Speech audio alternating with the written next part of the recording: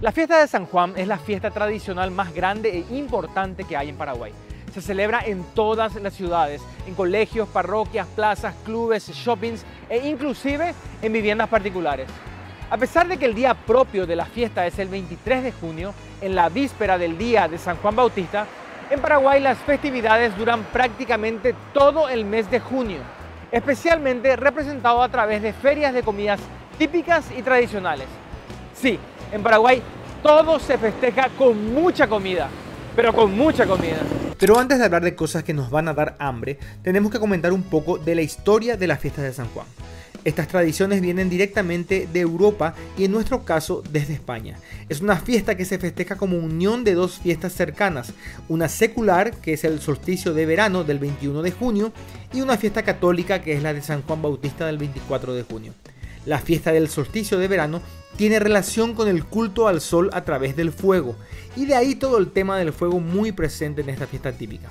Esta fiesta se celebra en muchos puntos de Europa, aunque está especialmente arraigada en España, Portugal, Noruega, Dinamarca, Suecia, Finlandia y Reino Unido. Interesante, ¿verdad? En España, actualmente en la noche de San Juan, se realizan juegos y bailes alrededor de grandes fogatas, especialmente en las playas y en algunos lugares con fuegos artificiales y todo. A pesar de que estas fiestas tienen los orígenes mencionados, en Paraguay adquieren matices muy particulares y fuertemente arraigados a nuestras costumbres tradicionales. En Paraguay, la fiesta de San Juan se realiza normalmente en lugares grandes con muchos puestos de comida, rodeados de un ambiente de mucha música y danzas típicas del Paraguay. Dos características principales se destacan en estas fiestas. La primera de todas es la gastronomía. Se preparan comidas típicas, las cuales algunas son prácticamente de consumo exclusivo en estas fechas, y otras que también son de consumo más cotidiano, como el caso del meyú. La segunda peculiaridad son los juegos tradicionales, los cuales se siguen realizando en algunos lugares donde los festejos son más grandes. Algunos juegos tradicionales originarios de España e Italia son el tatarillejazá, caminar sobre las brasas, el toro candil, en España conocido como toro embolado, y el bracín o palo de engrasado.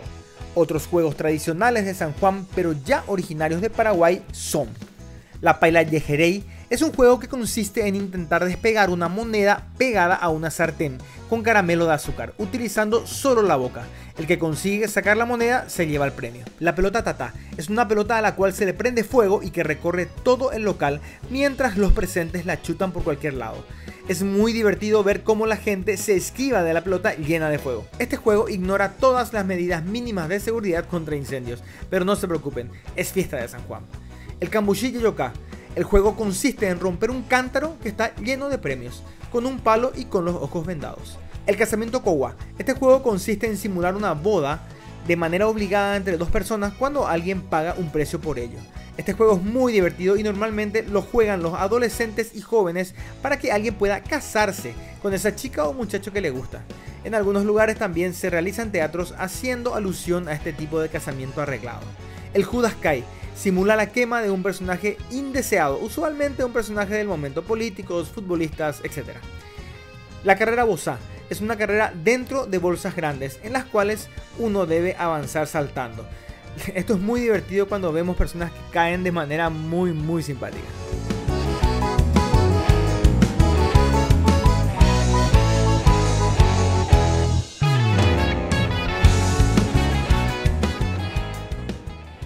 A hacer las famosas pruebas de San Juan.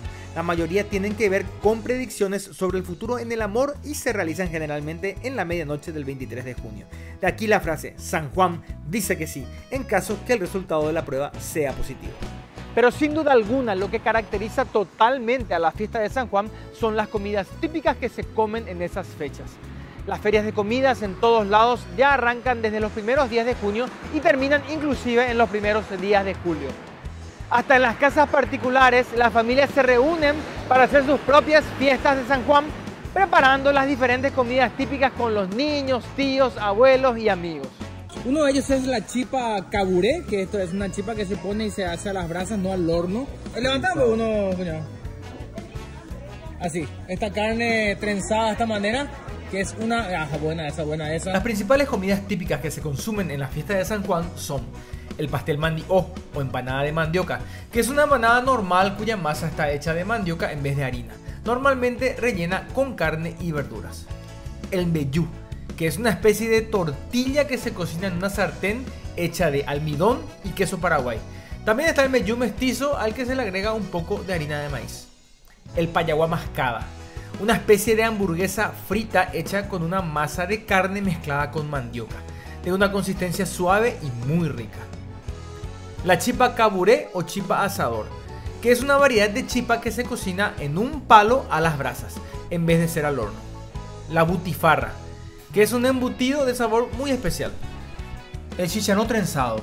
Este manjar está hecho de matambre de res trenzada y cocinada con mucho limón por varias horas.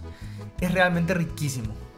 A medida que pasa el tiempo, las fiestas de San Juan que se realizan mayormente en los colegios están más orientadas a la diversión de los niños, por lo que normalmente están llenos de juegos no tradicionales para la diversión de los más pequeños. Así que si visitan Paraguay en el mes de junio, especialmente cerca del día 24, podrán disfrutar de abundantes comidas típicas en casi todos los lugares. Inclusive, restaurantes de todo tipo tienen sus menús especiales en honor a estas fechas. Además, puede ser que si tienen suerte, luego de esquivar un toro candil y chutar una pelota tatá, San Juan les diga que sí. ¡Chao!